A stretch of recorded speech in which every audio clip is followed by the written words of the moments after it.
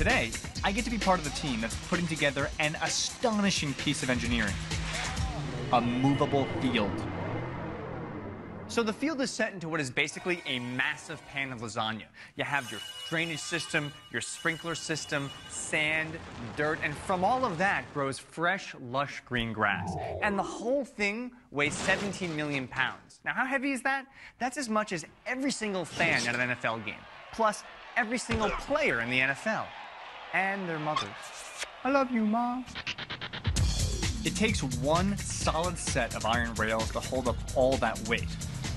But these rails are built in sections. So the challenge is, how do they fuse them together to make a single, indestructible railroad track that's over a thousand feet long?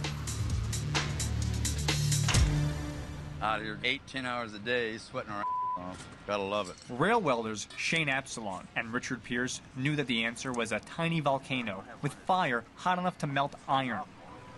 Of course, they didn't happen to mention that I might get burned to a crisp in the process.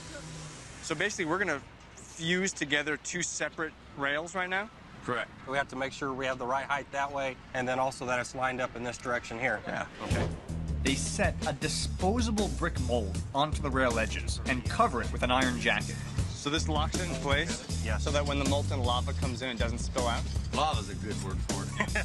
Yeah, see, once you get Then they pack in a special variety of sand for further insulation.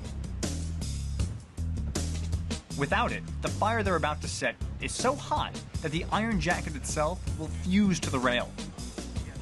Oh, God. Then, unbeknownst to me, they fire up a special blowtorch and set it right down into the mold. That is so hot. The heat coming out of the wind is so hot. This was like being at a barbecue, if you live two doors down from the sun.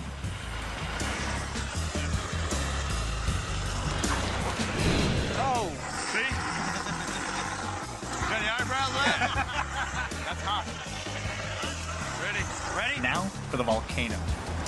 First, Shane toasts up a marshmallow, an igniter brick. This will help fire up the volcano to come. Shane sets it into place, and here comes the crucible canister, filled with welding powder. You can go this way because the wind's going to be. It's the key to the whole operation. That's the material that's getting sparked up? Yes. That's like a, like a kid's sparkler. So that's the sparkler. It's 4th of July. And this is our fireworks. Inside the crucible canister, the welding powder rises in temperature to 3,500 degrees Fahrenheit, causing a chemical reaction that turns the powder to heavy molten iron. A plug at the bottom breaks from the heat, and the iron pours down into the mold.